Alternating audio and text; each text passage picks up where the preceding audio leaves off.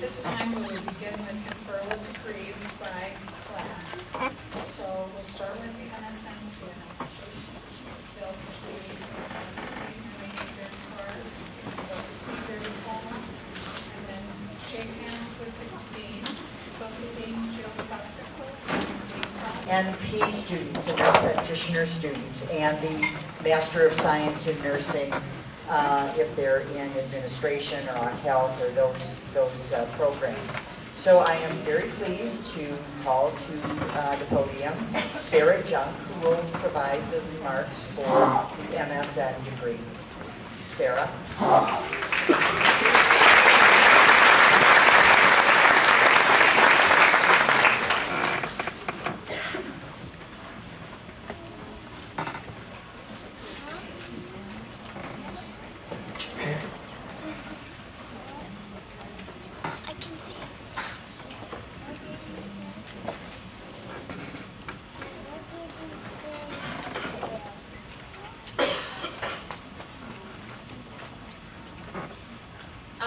Am surprised to be here. Not just to be speaking, but to graduate. In fact, I feel like I'm at the best surprise party ever.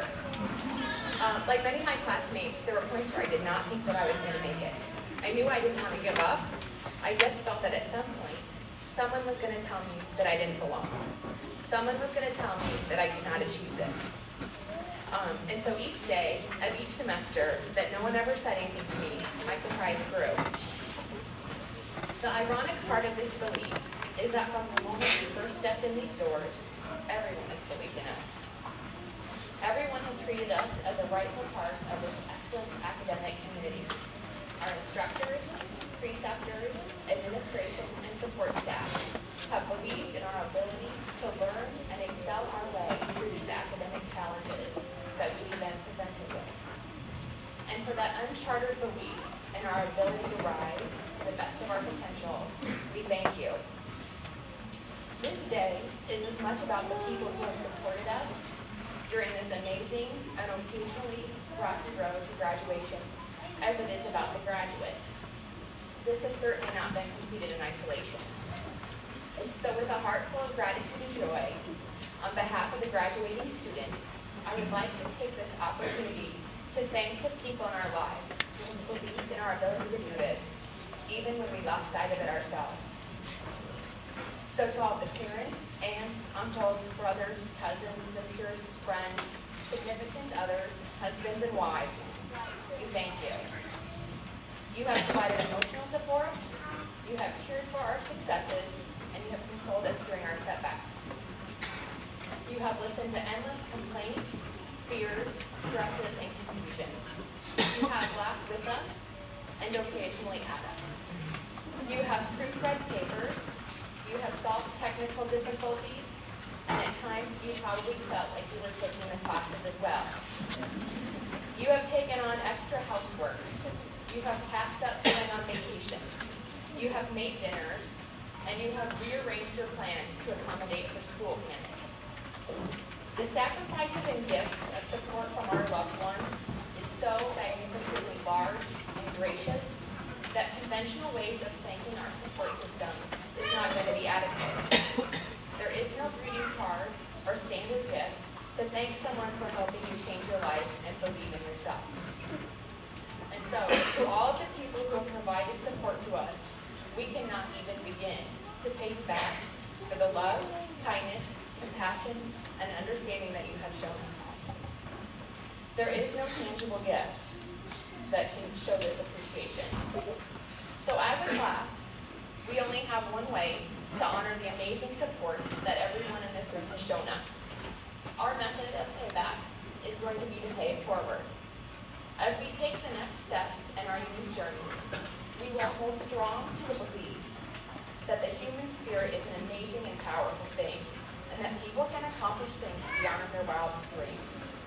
We will believe in all of the people that we come in contact with and their ability to succeed, even when they don't.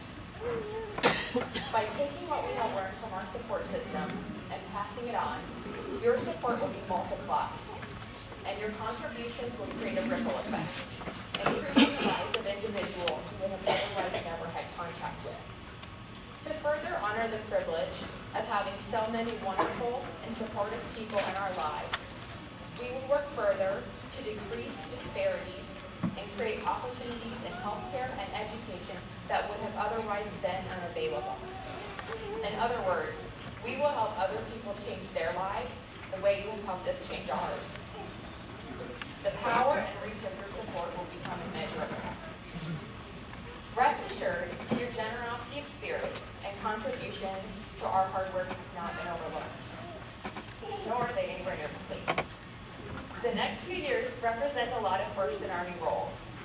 We will have many new fears, concerns, and responsibilities, and your continued support will be invaluable. The challenges of learning do not stop here. Job trainings, certifications, and doctorate level education awaits us.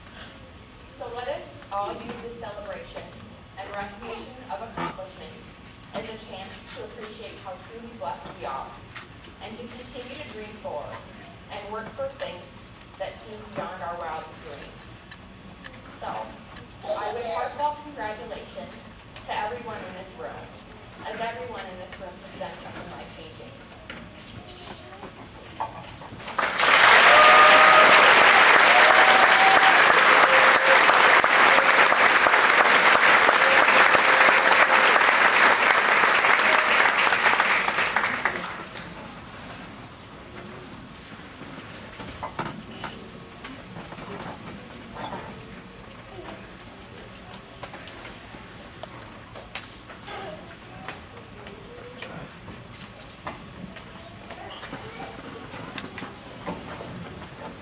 I would now like to have the MSN students come down and go ahead, Jan, bring them down.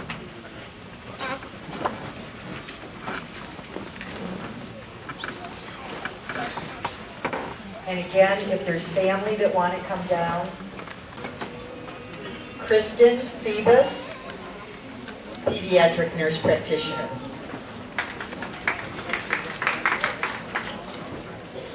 Brenna Van Wyck, pediatric nurse practitioner.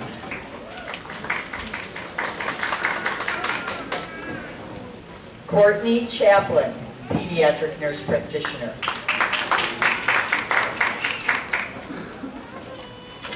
Michelle Schnapp, psych mental health nurse practitioner. Roxane Holm, psych mental health nurse practitioner. Joyce Pro, psych mental health nurse practitioner. Here, Rob, listen to it. What? The flash is getting too dark though. I can't take a picture, it's dark. Daisha Johnson, family nurse practitioner. Michelle Betch, family from D5. Yes, I get the last word. It's a tradition in academia that we signal the passage of our students from student status to graduate status by the movement of their tassel from the right side of their cap to the left. So graduates, you take your tassel and move it from the right side to the left?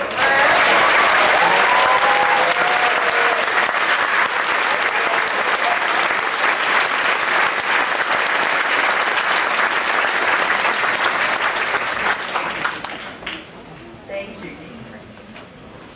So I am very happy to represent the faculty in congratulating all of you once again uh, for all that you've accomplished.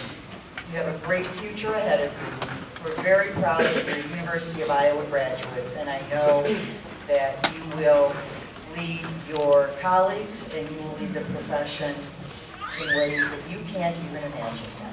So congratulations. Before we adjourn, two things. Um, The DNP students, we want to have you leave first so that we can take your picture out in the courtyard. And I would ask for family and friends to wait till the graduates leave and then you can, then you can move out. And thank you again for your um, patience